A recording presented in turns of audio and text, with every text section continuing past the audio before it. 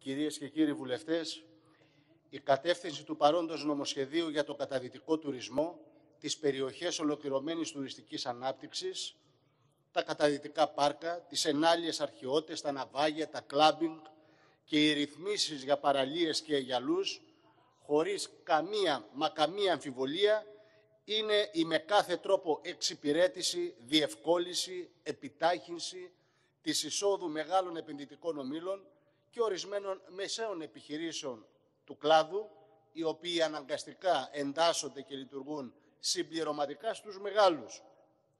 Στόχος είναι ο ακριβώς πολυτελής τουρισμός, δηλαδή για τους λίγους, όχι για τα εργατικά λαϊκά στρώματα και την ανάγκη, το δικαίωμα που έχουν για ξεκούραση και αναψυχή.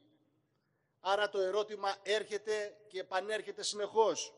Ανάπτυξη του τουρισμού από ποιον και για ποιον. Ανάπτυξη γενικώς από ποιον και για ποιον. Εσείς κάνετε την επιλογή να ταυτίζετε την ανάπτυξη με τα συμφέροντα των λίγων και όχι των πολλών. Για εσάς καπιταλιστική ανάπτυξη και δι τουρισμός είναι συνώνυμα της ανταγωνιστικότητας και της κερδοφορίας των λίγων.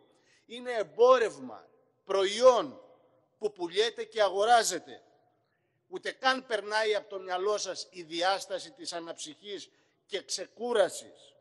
Την τα αντιλαμβάνεστε ως κόστος. Το ΚΚΕ απορρίπτει αυτή την ανάπτυξη. Εμείς υπηρετούμε μια ανάπτυξη με μοναδικό γνώμονα την ικανοποίηση της ανάγκης και του δικαιώματος των εργαζομένων για αναψυχή και γενικότερα την ικανοποίηση των αναγκών για σταθερή δουλειά με μισθούς που να καλύπτουν αυτές τις ανάγκες, όπως η μόρφωση των παιδιών, την πρόσβαση στο δωρεάν δημόσιο σύστημα υγείας και πρόνοιας, τη σταθερή δημόσια και καθολική κοινωνική ασφάλιση, την αντιπλημμυρική, αντιπυρική, αντισυσμική θωράκιση της χώρας ως προϋπόθεση προστασίας της ζωής του ανθρώπου. Επίκαιρα όσο ποτέ άλλοτε, όπως αποδείχθηκε με αφορμή την πανδημία, τις τραγικές ελλείψεις στα νοσοκομεία, στα σχολεία, τους χώρους δουλειάς, τις μεγάλες καταστροφές που ζήσαμε τα προηγούμενα χρόνια στο Μάτι, στη Μάνδρα και αλλού. Τα υπηρετεί η δική σας ανάπτυξη, η καπιταλιστική, ούτε τα υπηρετεί, ούτε και μπορεί να τα υπηρετήσει, αφού το κριτήριο είναι το κέρδος, γι' αυτό άλλωστε και τα αντιστρατεύεστε. Απόδειξη ότι και σε συνθήκες κρίσης και σε συνθήκες ανάπτυξης τα δικαιώματα των εργαζομένων στα ξενοδοχεία, στον επισητισμό, που, με εργαζόμενους που δουλεύουν σε συνθήκες γαλέρας, με μισθούς πείνας, με πολλαπλές εργασιακές σχέσεις, σε συνθήκες τρομοκρατίας και με εξαντλητικά ωράρια. Ούτε καν και αυτά τα ελάχιστα ψίχουλα, τα επιδόματα δεν τους δίνεται σε όλους τουλάχιστον, παρόλο που τα δικαιούται. Και επιτρέψτε μου από αυτό το βήμα να χαιρετήσουμε τις μεγαλειώδεις συγκεντρώσεις των εργαζομένων στον τουρισμό, όπου κατά χιλιάδες διαδήλωσαν σήμερα στην Κρήτη, στο Ηράκλειο, στο Ρέθυμνο, στα Χανιά και απέδειξαν ότι σε συνθήκες πανδημίας η μάσκα δεν είναι εμπόδιο για να ακουστεί η φωνή του στεντόρια απέναντι στα αφεντικά και το πολιτικό τους προσωπικό. Καλούμε την εργατιά να μείνει όρθια και δυνατή για να διεκδικήσει το μέλλον της, τη ζωή της, για να πάρουν τα όνειρα εκδίκηση. Οι σημερινές μεγαλειώδεις αυτές κινητοποιήσεις είναι η απάντηση στον εμπεγμό της κυβέρνησης, των εξαγγελιών του Πρωθυπουργού και των Υπουργών της, στην αγνόηση των ετοιμάτων τους, παρόλο που εδώ και το χρόνια βάζουν πλάτη και τώρα τους ζητάνε νέες θυσίες, ξανά και ξανά.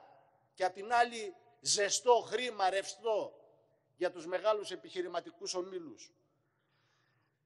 Κυρίες και κύριοι, το ΚΚΕ έχει μια εντελώς διαφορετική ριζική αντίληψη για την ικανοποίηση των σύγχρονων λαϊκών αναγκών.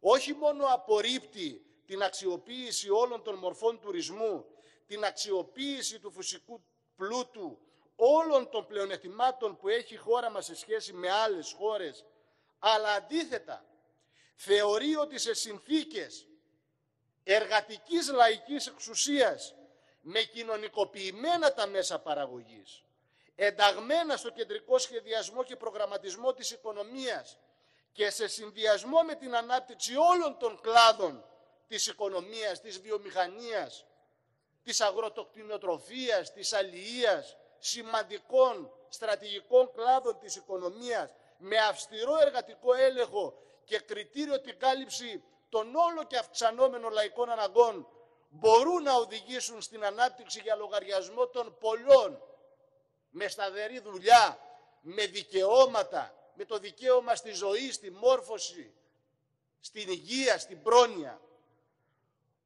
Όλη αυτή η μεγάλη επιχειρηματική δραστηριότητα και αναφερόμαστε στους μεγάλους επιχειρηματικούς ομίλους διότι οι αυτοαπασχολούμενοι στον τουρισμό, στον επισητισμό, στην εστίαση, οι μικροί καταληματίες και αυτοί συνθλίβονται, χάνονται, είναι έξω από το πλάνο αυτών των κυβερνήσεων των μεγάλων επιχειρηματικών ομίλων έτσι και αλλιώς. Και αυτή την ε, μεγάλη επιχειρηματική δραστηριότητα τη βαφτίζεται ως αναπτυξιακή και τη συνδέεται μάλιστα και μόνο με τις, αποκλειστικά και μόνο με τις business των επενδυτών που εκτός των άλλων δεν μπορούν να διασφαλίσουν την προστασία του φυσικού περιβάλλοντος. Ακόμα και ο χωροταξικός σχεδιασμός και οργάνωση, τα εσχαδά, αυτά τα ειδικά σχέδια χωρικής ανάπτυξης δημοσίων ακινήτων και οι όποιοι κρατικοί παρεμβατισμοί το μόνο που κάνουν είναι να διευκολύνουν την επέκταση της επιχειρηματικής δραστηριότητας σε βάρος της κρατικής γης. Σε σχέση τώρα με το αυτό καθ' αυτό νομοσχέδιο. Στο πρώτο μέρος για την ανάπτυξη του καταβητικού τουρισμού, άρθρα 1 έως 14.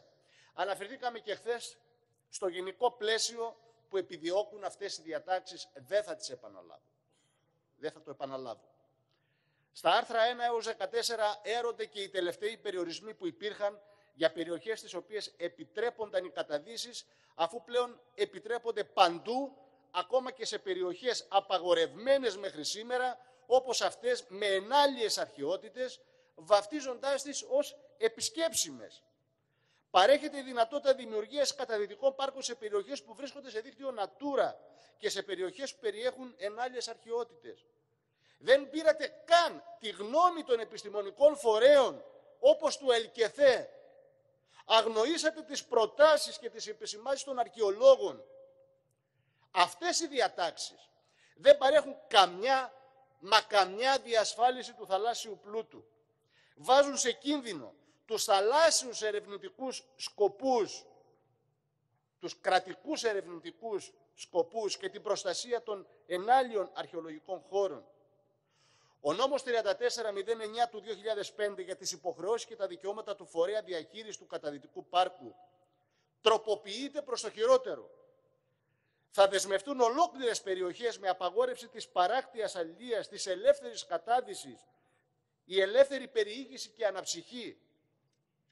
Ενώ το άρθρο 2 απαγορεύει το καταδυτικό τουρισμό αναψυχής σε, περιορισμένες, σε προσδιορισμένες από τις αρμόδιες υπηρεσίες του Υπουργείου Πολιτισμού και Αθλητισμού θαλάσσιες περιοχές ενάλιων αρχαιολογικών χώρων, στο άρθρο 6 αναιρεί την απαγόρευση αυτή, δίνοντας τη δυνατότητα με κία των Υπουργών Ναυτιλίας και Πολιτισμού να ανακηρυχτούν αυτοί οι χώροι ως επισκέψιμοι ενάλλοι αρχαιολογικοί χώροι.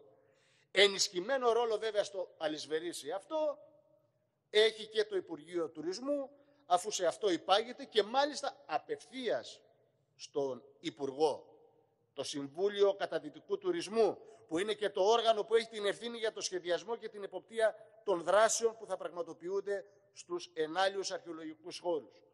Στο άρθρο 4 ορίζεται η σύνδεση του Συμβουλίου Καταδυτικού Τουρισμού, το οποίο συγκροτείται από δύο επιστήμονες με αναγνωρισμένη γνώση και εμπειρία σε θέματα που άπτονται του καταδυτικού τουρισμού, και υπαλλήλους του Υπουργείου Περιβάλλοντος, διαφόρων Υπουργείων, καθώς και έναν πάροχο καταδυτικών υπηρεσιών αναψυχής, δηλαδή το επιχειρηματία.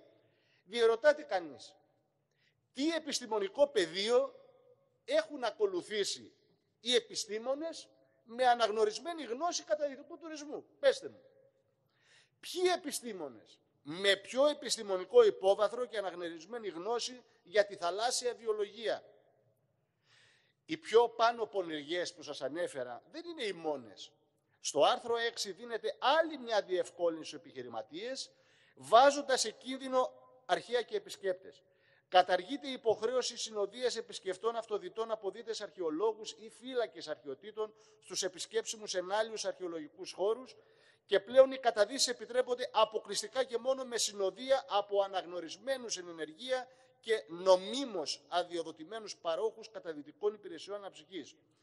Το ίδιο και για την παρατήρηση του βυθού με μάσκα και αναπνευστήρα, όπως και την περιήγηση και παρατήρηση του βυθού με πλοία διαφανούς πυθμένα ή άλλα μέσα παρατήρησης του βυθού. Με το άρθρο 7 βάζετε χέρι στα ναυάγια. Σας το είπαμε και χθες. Κουβέντα. Το θεωρείτε μάλιστα ως κάτι το καινοτόμο. Και ακούσαμε και σήμερα μάλιστα ότι αποτελεί και προστασία του θαλάσσιου περιβάλλοντος αυτό. Σε ναυάγια ηλικία άνω των 50 ετών, τα οποία με απόφαση του Υπουργείου Πολιτισμού από το 2003 έχουν χαρακτηριστεί ως πολιτιστικά αγαθά και δεν επιτρέπονται ως σήμερα οι καταδύσεις αναψυχής. Με τη νέα ρύθμιση απαγορεύονται οι ασυνόδευτες καταδύσεις, αλλά επιτρέπονται οι καταδύσεις με συνοδεία των παρόχων, δηλαδή των επιχειρηματιών. Ακόμα πιο προκλητικό είναι ότι επιτρέπεται με το άρθρο 8 τον θεσμό των ελεύθερων τεχνητών υποβρύχιων αξιοθετών, αξιοθέατων και προσφέρει ανάλογες διευκολύσεις. Παρέχεται η δυνατότητα σε δήμους, παράκτες ξενοδοχειακές επιχειρήσεις να δημιουργούν με δαπάνη τους τεχνητά υποβρύχια αξιοθέατα όπως τεχνητά ναυάγια ή υποθαλάσσια έργα τέχνης για την αύξηση της βιοπικιλότητας και της καταδυτικής ελκυστικότητας θαλάσσιων περιοχών χωρίς την καταβολή αντιτίμου στο δημόσιο, αλλά και χωρίς δικαίωμα ίσπραξης εισιτηρίου από την επίσκεψη στα ελεύθερα τεχνητά υποβρύχια αξιοθέατα που παραμένουν κοινόχρηστα και δωρεάν επισκέψιμα για όλους. Απαγορεύεται επίσης κάθε μορφή αλληλεία σε ακτίνα 50 μέτρων από την περίμετρο των ελεύθερων τεχνητών υποβρύχιων αξιοθέατων. Είναι γελία η απαγόρευση δημιουργίας ελεύθερων τεχνητών υποβρύχιων αξιοθέατων σε απόσταση χίλια μέτρα από τα όρια χωροθέτησης ενός καταδυτικού πάρκου, αφού οι αποστάσεις είναι μικρές και δίνεται με αυτόν τον τρόπο η δυνατότητα για επιχειρηματική αξιοποίηση και των δύο ταυτόχρονα. Επίσης, στα άρθρα 8 έως 10 προβλέπεται η λειτουργία ελεύθερων τεχνητών υποβρύχιων αξιοθέατων, των οποίων η επίσκεψη θα είναι μεν χωρίς εισιτήριο, αλλά παρέχονται κίνητρα στους επιχειρηματίες που θα το φτιάξουν για τη δημιουργία καταδυτικών έργων με επιδότηση από εθνικούς και ευρωπαϊκούς πόρους. Οι χορηγίες και οι δωρεές προς τον κατασκευαστή απαλλάσσονται από φόρο δωρεάς και εκπίπτουν από το ακαθάριστο εισόδημα του δωρητή ή του χορηγού. Με το άρθρο 12 προκύπτουν ζητήματα ασφάλειας της ζωής των επιβατών, αφού ο περιορισμός απόστασης από το σημείο εκκίνησης δεν υφίσταται υπό την προϋπόθεση ότι το σκάφος δεν θα πρέπει να υπερβαίνει την απόσταση των 6 ναυτικών μιλίων από τις ακτές και με την προϋπόθεση ότι φέρουν τον κατάλληλο εξοπλισμό. Καταργούνται επίσης υπέρμετρες τεχνικές διοικητικές απαγορεύσεις σχετικά με την πλήρωση φιαλών οξυγόνου επί των σκαφών. Δίνεται η δυνατότητα στο άρθρο 13 δημιουργίας καταδυτικών πάργων σε θαλάσσιες περιοχές, συμπεριλαμβανομένου του πυθμένα, ναυαγίων, μνημεία, ιστορικούς τόπους, με διάρκεια παραχώρησης για 20 χρόνια, ήταν 10, με δυνατότητα ανανέωσης για ακόμα 10 χρόνια ήταν 5. Μάλιστα για την καταβολή του μισθώματος δίνεται περίοδο χάριτος ενός έτους από την παραχώρηση, για την οποία δεν καταβάλλεται μίσθωμα. Τα δε αντίτιμα είναι άκρος προκλητικά, να μην τα διαβάσω και τρώγω το χρόνο. Στο μέρος δεύτερο για τις ρυθμίσεις αναπτυξιακού χαρακτήρα, άρθρα 15-36.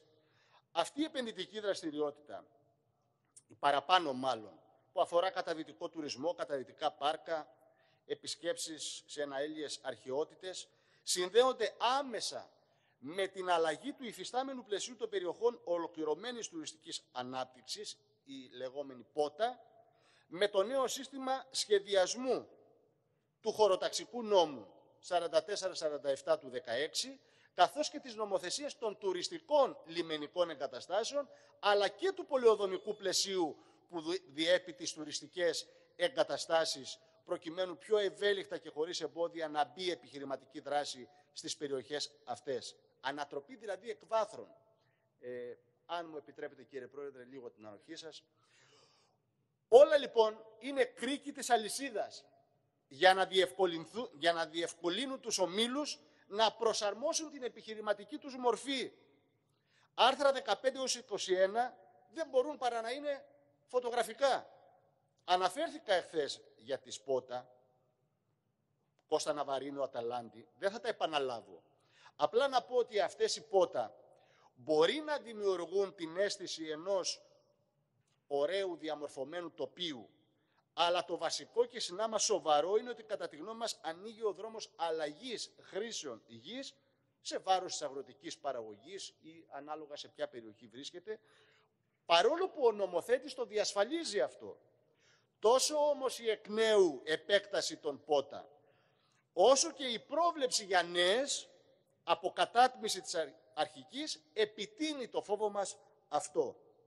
Επιπλέον και συνοπτικά στα άρθρα του δεύτερου μέρους δίνει διευκολύνσεις στον επιχειρηματία να διευρύνει και να αναπτύξει παραπέρα την επιχειρηματική του δράση, επιτρέπει όλες τις χρήσεις τουρισμού αναψυχής, γενικά και αόριστα χωρίς κανένα περιορισμό και προϋπόθεση, δίνει μια και εξωέγκριση πολεοδόμησης και μιας ενιαίας μελέτης περιβαλλοντικών επιπτώσεων για όλες τις χρήσεις για τις εκτός σχεδίου περιοχές που θα χαρακτηριστούν πότα, προβλέπει μείωση χρόνου υλοποίησης επιχειρηματικής δράσης σε βάρος των εκτός σχεδίου περιοχών που σε άλλες συνθήκες ήθελαν πιο αυστηρές προδιαγραφές και ενδεχομένως να απαγορεύονταν κάποιες από τις χρήσεις γης που επιδιώκει ο επενδυτής ή που θα επιδιώξει ο επενδυτής. Προβλέπεται η ενσωμάτωση στην πότα οδών, δρόμων που τη διασχίζουν ή και η μετατόπιση των οδών αυτών για την καλύτερη εξυπηρέτηση των έργων. Επιπλέον η κατάργηση οδών που εξυπηρετούν τρίτους εάν κρυθεί σκόπιμο από το φορέα διαχείρισης της ΠΟΤΑ. Και όλα αυτά με αναγκαστικές παρακαλώ απολωτριώσεις. Μπορεί να μετακινούνται και να αλλάζουν και να καταργούνται δρόμοι αν αυτό επιβάλλει το επιχειρηματικό συμφέρον.